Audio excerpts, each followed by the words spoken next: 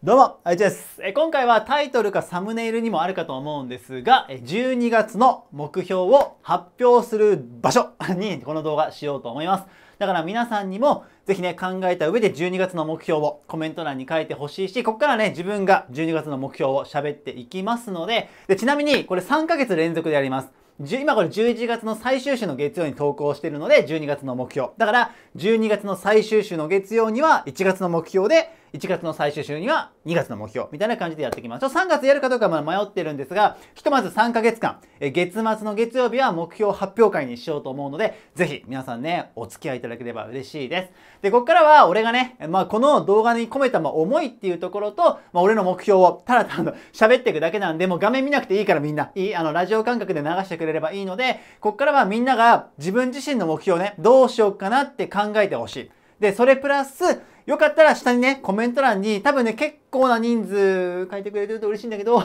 あると思いますので、あの他の方のね、コメント読んでもらって、あのー、あ、私も頑張ろうとか、あ、この人すごいみたいなね、応援してますみたいな、まあ何でも構わないんだけど、ちょっとみんなにとってこう、プラスのものをコメント欄からももらってもらえたら嬉しいので、うまく使ってください。ではね、ここからちょっと私の話をしていくんですけど、まずなんでこの動画を、まあ、撮ろうと思ったかっていうと、まあ、私この活動ね、まあ、11年目なんですが、このチャンネルやってて、一番の自慢があるんですよ。一番の自慢。まあ今までも何回か話をしてるんでね、あれでしょって思う方もいるかもしれないんだけど、一番の自慢はね、うちのユーザーの、まあ使ってね、動画を見てくれてる方、使ってくれてるみんなのあったかさなんですよ。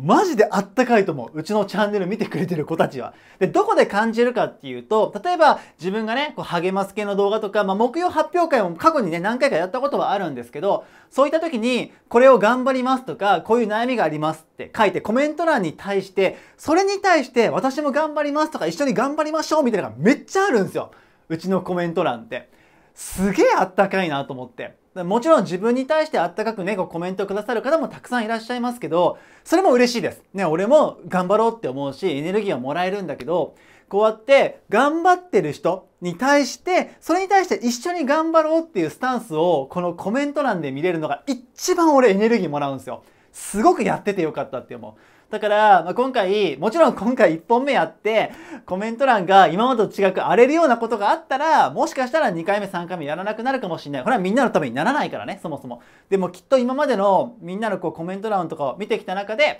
あのー、あったかいこうコメント欄になると思うの、この動画は。だから、やりたいなと思って。で、しかも受験生は特にもう追い込みじゃんか、この3ヶ月。で、どうしても受験中って、勉強中って孤独感に苛まれるから、でも、こう、なんかさ、愚痴の言い合いとかも必要な時あるかもしんないけど、でも今これ大事じゃないんだよね。もうこの3ヶ月間って。愚痴言い合ってる場合じゃないのよ。そうすると愚痴言い合うとさ、落ちてっちゃうから一緒に。でもそうじゃなくって、一緒に頑張ろうって、もう踏ん張ってもギリギリなんだけど、でもこの人も頑張ってるしっていうふうに思って、一人じゃないって。このチャンネルには一緒に頑張ってる子がいるんだって、もし思えたら、なんか、俺がもし学生の時だったらそういうのあったらいいなって思ったんで、ちょっとチャレンジとしてこの動画ね、やってみようと思いました。なので、もし、あ、そうそう。で、でもさ、言うても、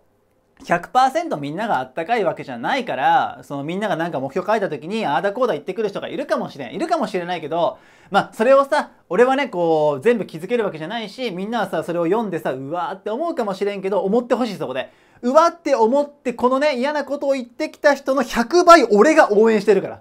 みみんなに直接言うことはできないけどもめちゃくちゃ応援してるからいやこの変なコメントの100倍配置が応援してるって言ってたって思ってそれはもう俺が心から保証するので、まあ、そんな感じで受け取ってもらえたら嬉しいです。ちょっと前置き長くなったけどね。では私の目標を発表していきます。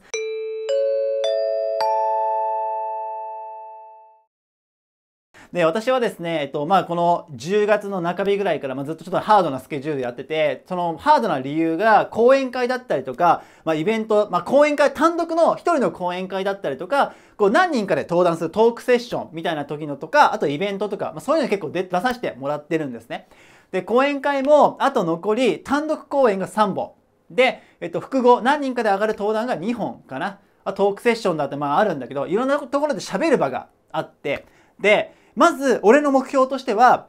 その講演会を全力でやりきったって、喋りきったって思えるものにするって。今年、本当ありがたいことにたくさんいろんな場所で喋らせてもらいました。で、もちろん反省はある。反省はある。100点満点あげれる講演会は正直ないんだ。絶対に反省は出てきちゃうんだけど、でも自分の中でやりきったって思えない講演会は今年一本もないんだよね。全部やりきれたって思えてる自分がいるの。それは、あの、自分ですごく褒めてあげることだし、残りのその講演会、人の前で話す場において、それを今年やりきるっていうのが一番の目標です。もちろん、週1回、週1本以上の、えっと、授業動画を投稿するとか、この月曜の動画を投稿するっていうのは目標にも入るんだけども、もうそれは当たり前にやることだから、それプラスで、講演会、人の前で喋るっていう場所で、やりきったって言えるものにしてくる。ラストスパートとしてね。それが自分の目標です。で、なんでこれをこんなにガッて言ってるかっていうと、これ前どっかで喋ったかちょっと忘れちゃったんだけど、俺、何年前だ ?6 年、7年、結構前ね。もう活動始めて初期の頃、初期中期の頃に、ある講演会に、まだね、全然呼んでもらえる時だよ。その講演会なんて年に1、2本みたいな時だったんだけど、ある講演会で、俺心が折れちゃったんです。ちょっと理由はちょっと伏せますけど。だから、自分で何を喋ったか覚えてないんですよ。本当に。その講演会。でも、反省というか後悔しかなくて、何やってんだよって。で俺今でもね結構な場数は踏ませてもらったんですけど今でも講演会の直前控室で待ってる時に胃がすごい痛くなりますでちょっと汚くな話になるけど本当に吐きそうなぐらいに緊張というかうってなるんですよで今しかもマスクで喋ること多いんでこう私結構講演会中もこのテンションで喋るんですよ私わーって結構喋るから酸素足んなくなっちゃってさ で喋ってる時もうってなったりするんだけど結構それが多いんですね。で、それはもともと緊張しいな性格もある。あるけど、一番はその講演なんですよ。大失敗した講演会。今でもフラッシュバックするし、喋ってる途中で喋ろうと思ったことが全部飛んだんですよ。パンって。あの、大学受験の本命のこう、あと前期の時みたいな感じ。そあと簡単な公式が出てこなくなった。あの時とすごい似てるんですよね。感覚としては。で、あれが今でも思い出す。いやあの感覚は今でも鮮明に残っててでああなったらどうしようってやっぱ毎回思うんですよねで思うんですけどでも思うからこそ一生懸命準備するし一生懸命練習してから行くんですよ毎回でこんだけ練習したから大丈夫って思ってみんなの前に立って喋るんですよねでまあ俺のね講演会を何かの場所で聞いてもらった方は特にこの12年の講演会を聞いていただいた方は多分感じてくださる方が多いと思うんですけど暑苦しいんですよ。私の講演会結構。でもそれは、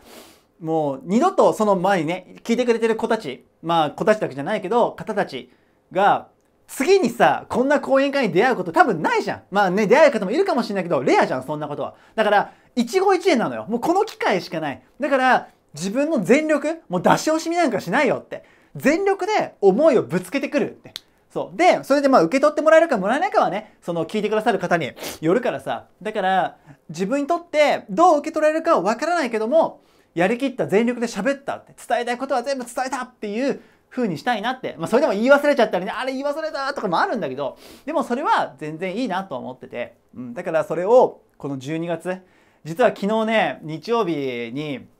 なんか多分疲れがどっときちゃって、ちょっとね、あの、風邪ひいたとかじゃないんだけど、全然体調不良じゃないんだけど、すごい体の調子が悪くなっちゃって、そうなんですよ。で、昨日一日、もうがっつり、あと、まあ朝ね、自習室やったんだけど、午後とかはがっつり休ませてもらって、で、回復してもうわって喋ってんだけど、もちろん、まあ若くもないんでね、体力ももともとないから、12月ね、こう、息切れしないかどうか不安なところはあるんだけども、でも、そんなさ、体力切れたらどうしようなんてもう考えてる場合じゃないから、12月末まで今年はもう走り切るって決めたから、だから、それをやりきる。長いな、俺話が。